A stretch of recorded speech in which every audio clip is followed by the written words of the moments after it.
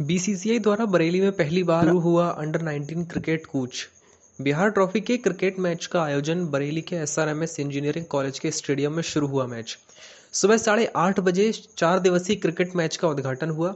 Cricket match के उद्घाटन में शामिल हुए कैबिनेट मंत्री धर्मपाल सिंह, वन मंत्री डॉक्टर अरुण कुमार, पूर्व केंद्रीय मंत्री संतोष गंगवार, विधायक ADG zone Bareilly, commissioner Bareilly IG Bareilly range. इनके साथ साथ तमाम अधिकारी व पुलिस प्रशासन के अधिकारी शामिल हुए। हम वास्तव में बीसीसीआई को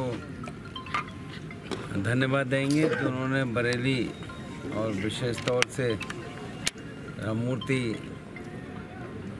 जो मेडिकल कॉलेज इंजीनियरिंग कॉलेज है, इसके संस्थापकों को बहुत बहुत शुभकामनाएँ देंगे। उन्होंने मैदान इस योग बनाया कि बीसीसीआई ने चयन किया और यहाँ पर कुछ बिहार ट्रॉफी का मैच हो रहा है, जो इस समय हम लोग देख रहे हैं।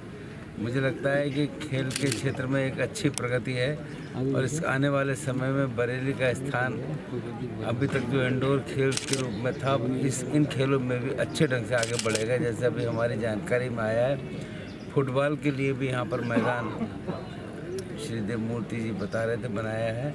निश्चित रूप से बरेली एक अच्छी प्रतिष्ठा अर्जित करेगा, प्रदेश के अंदर अपनी पहचान बनाएगा। देखिए, सबसे पहले तो हम बीसीसीआई को धन्यवाद देना चाहते हैं और इसमें विशेषकर देवमूर्ति जी को कि उन्होंने इतना बढ़िया प्ले ग्राउंड देकर यहाँ खेल का जो आयोजन कराया है, उसके लिए बधाई।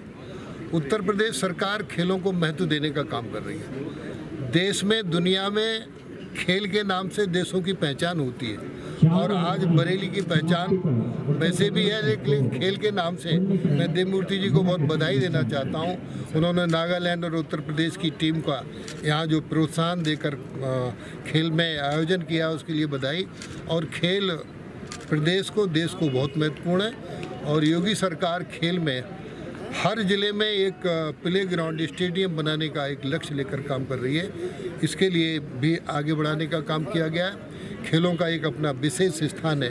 भाई देव मूर्ति जी को मैं बहुत बहुत बधाई देता हूँ। कोच बिहार के बाद उम्मीद करें कि रणजी का भी नंबर लगेगा बरली निश्चित रूप से एक साल के अंदर रणजी भी हो रणजी भी आज हो जाएगी जैसा कि आप बता रहे हैं। क्रिकेट के इतिहास में मैं कहूँगा कि आज पहली बार बीसी से अधिकृत कोई मैच बरेली में कराया जा रहा है और ये हमारा सौभाग्य है कि श्री राममूर्ति स्मारक क्रिकेट स्टेडियम, जो इंजीनियरिंग कॉलेज में स्थापित है, वहाँ पे बीसीए द्वारा, बरेली क्रिकेट एसोसिएशन द्वारा इस मैच का आयोजन यहाँ किया जा रहा है। और उत्तर प्रदेश क्रिकेट एसोसिएशन ने इस ग्राउंड को निरीक्षण करने के बाद इस्लाम को पाया कि वो एक होम मैच यहाँ पे उत्तर प्रदेश और नागालैंड की टीम के बीच में करा सके। उनका बहुत बहुत धन्यवाद।